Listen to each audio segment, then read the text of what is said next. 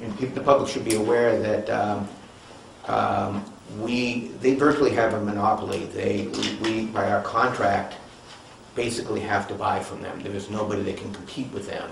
And so we can negotiate with them, but we don't have a lot of leverage.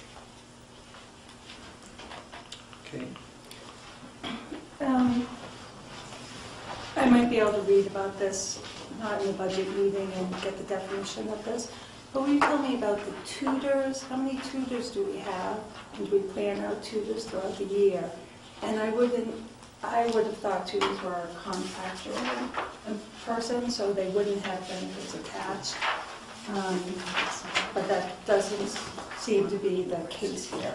Tell us the line. Where that's is on. that, Um, There's a couple spots for tutors through s- salaries and bene- benefits. One is um, 8800-1210 on page three.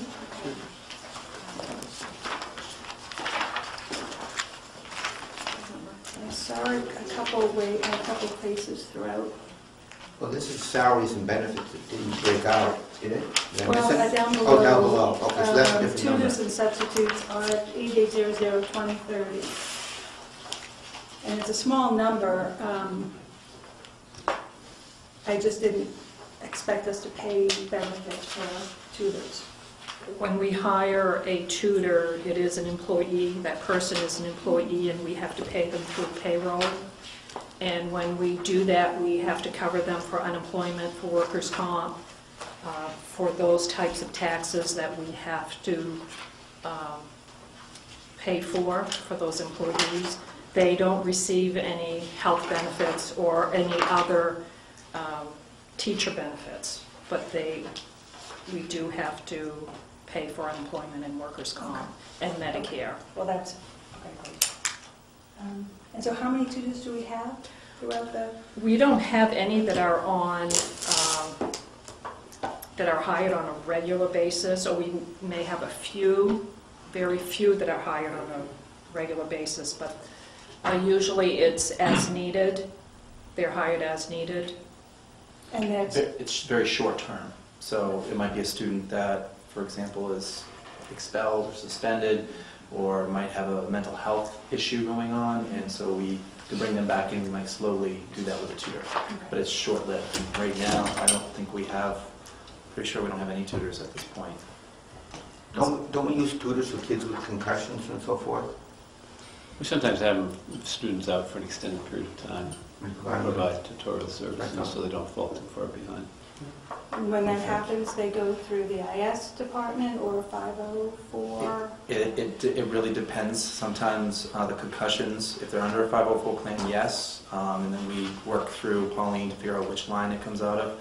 Jeff has, a all the schools have a line. Okay.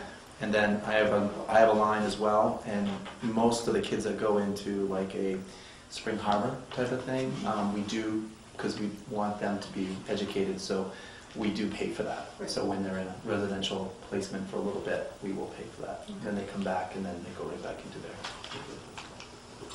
Thank you.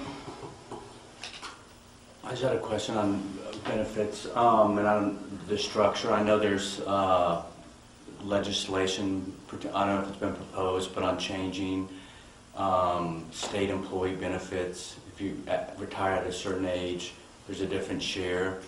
Would that impact our school district whatsoever? Is that a different pool of benefits, or are all our staff covered just by the Cape Elizabeth benefit plan? With, with retirement, it's no cost at all. I mean, under the governor's proposal, what will happen is that anyone in that retirement system, which is most of the educators, would um, be paying 2% more, so they would see a 2% decrease. We don't, as a town, contribute, the state contributes the other portion, so it's all employee or state. So, The governor's cut does not include health benefits, it's, it's retirement benefits. Is, is Don't, don't, that, we pay- don't we pay a portion of the retirement? Don't, isn't there a contribution made by the school district for, for retirement? Not for teachers' retirement, Not no. teachers' retirement? That's all state. The state pays like 45% of the cost of uh, retirees' health benefits. Okay. and the retiree pays the rest. Thank you. I guess I have one more question.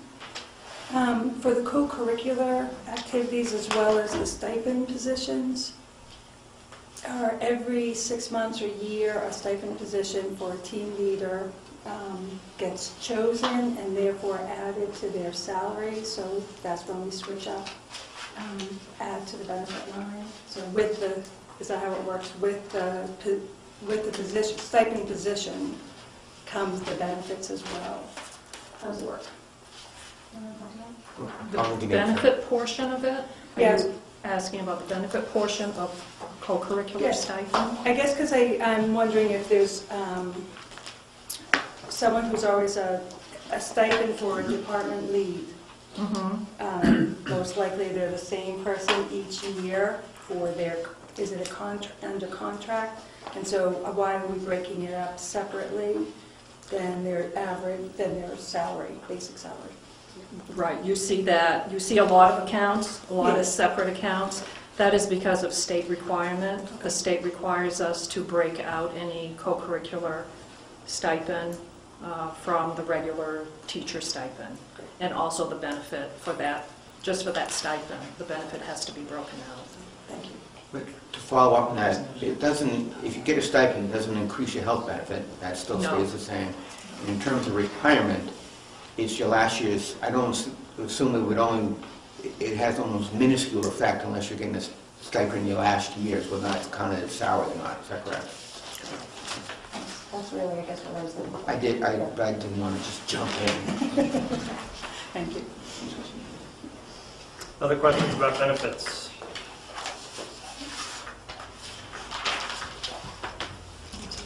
Okay, so let's move on then to instructional support.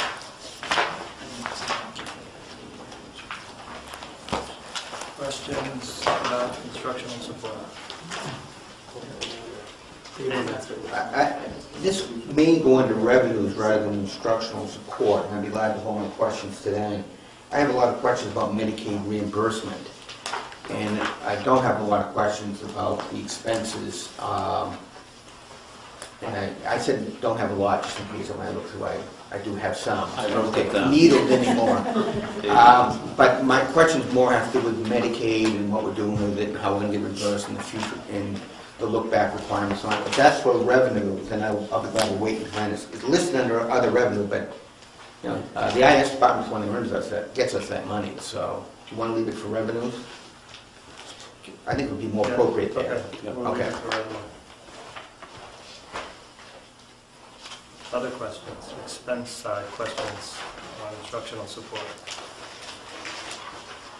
I guess the only, only one I have is, um, why did we change it for, or why is it now contracted employees for OT and, or, um, why do we now use contracted employees rather than in-house employees?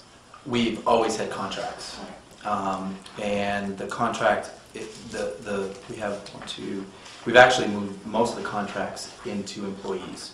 So our psychologists, last year, the year before, were actually contracts. So we've been, we put them as employees last year. Um, And we have OT contract, which is two days.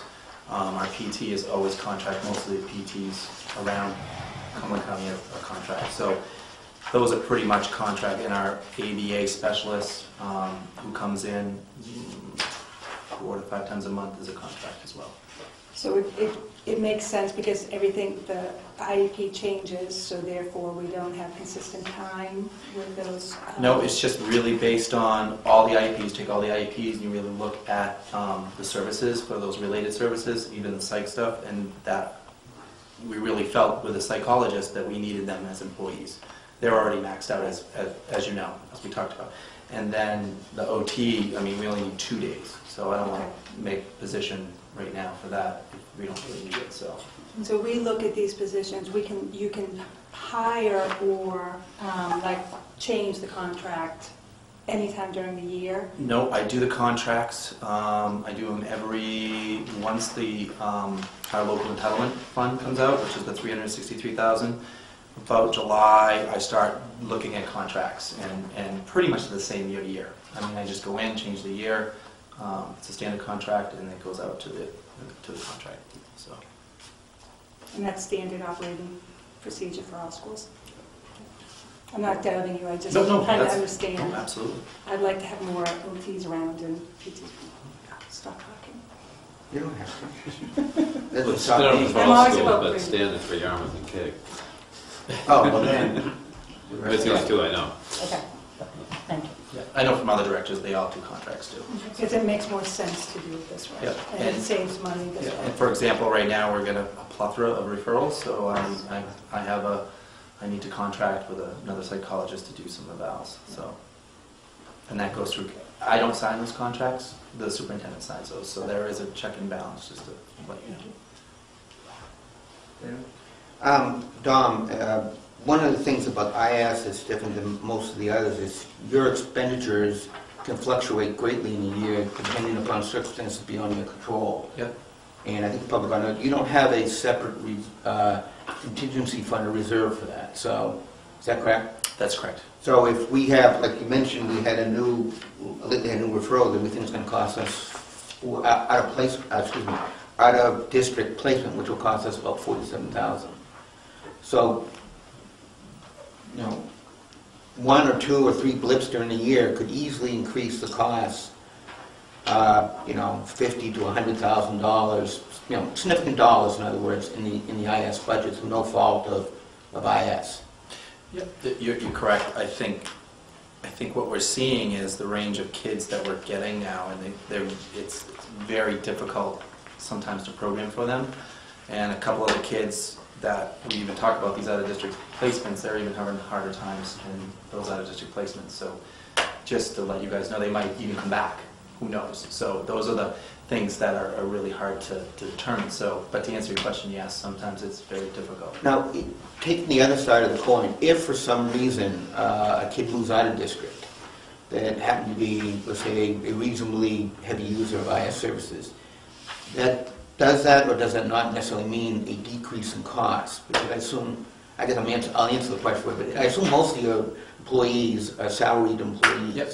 So if there's a decrease, it just means there's more available to help other people. Correct. What, what, what happens is there's always a void, and we have to rearrange the furniture, kind of. always a void, I mean, not enough people? There's always, well, we, we have people, and we try to really keep it um, working well. For example, we have another, uh, we have a student moving in from up north, has a one-on-one, and we have to take that IEP as it comes in. So we're rearranging, it takes us, a we have a couple months to prepare for that student, so we're kind of rearranging the chairs to do that. So arranging staff. So the same thing, it could, so for example, uh, if you're thinking at the high school and we, and we have a student moving out, um, so we'll move people up and down the scale to try to, to cover that within a year. I hope that answers your questions. Yes, it does, and I'm just trying to make a point for the public. You do the best you can to predict who's coming in or who might need. It's also possible, I assume, that certain students' need for IS services could- could fluctuate during the year. Yep, A lot fluctuate. more, a lot, Yep, so it's, po- so I'm just, when we get to terms, in terms of thinking about contingencies and reserves, one of the things we have to think about is the possible fluctuations within your department that you have no control over. yep. Okay, thank you. Well, you ra- you raise a good point, David. I mean, when times get better, you might want to consider a special ed reserve account, because one family moving into the district can blow a school budget right out of the water. Um, And if you have a reserve account for that, then you can be pretty skinny on your projections on expenditures, which Dom is right now. All we're doing is projecting what is needed bigger districts would carry three or four extra out-of-district uh, tuitions, just to be safe.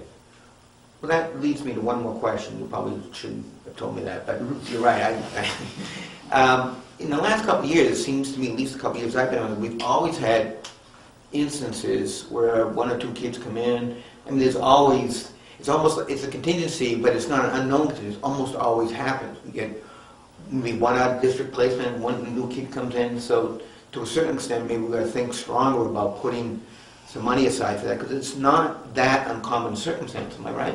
You're you're right. I think our numbers, I mean, the data shows it. I mean, we're, as the population goes down, again, I keep saying this, our number keeps staying the same. I even think it's going to jump up a little bit higher. And it's not because of over identification,